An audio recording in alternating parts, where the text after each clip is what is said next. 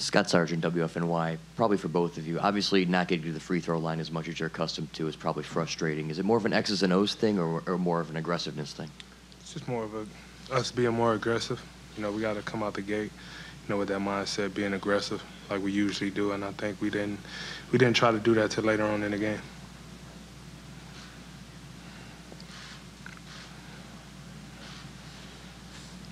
Has Matthews, WZAK.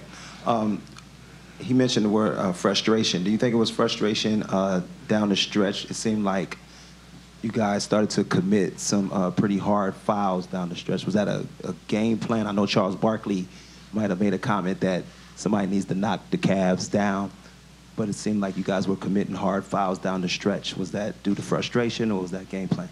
Nah, neither. Neither. Neither or.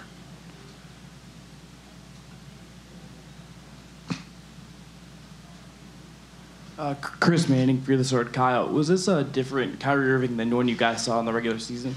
Uh, he's playing fantastic right now, um, making shots, uh, getting in transition. Um, he's doing a good job of, you know, picking and shooting in the spots, and um, he's being um, extremely efficient. So um, that's just the, you know, throughout the season, he got more comfortable coming back from his injury. So he's playing extremely well right now. This is for this is for both of you uh, back here.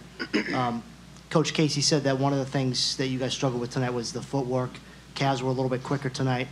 How much of that was a result of them having nine days off and you coming from one series, having a day off to prepare for them and, and come in here and play tonight? I mean, at the end of the day, we we we surely not gonna make no excuses, you know. But they've been off their feet. You know, we've been battling for the last couple of weeks. You know, and they came out with that, with that, like you said, quick first step. And then, you know, we didn't meet it like we wanted to.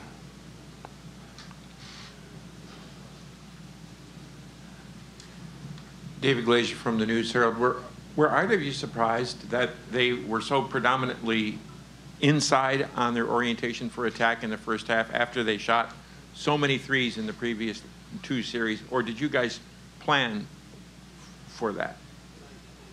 Uh, you know, we, we, we planned, you know, we knew the three ball was big, but they did a good job. We, we, we, we left the floor, the paint too open tonight, I think, and they just they took advantage of that you know, uh, I think the they just did an overall good job of picking and choosing their spots. And you know, seven for 20 from three, but you know, I mean, countless of free throws, and they attacked the paint, um, and that was kind of you know something we have to look at and, and make an adjustment for.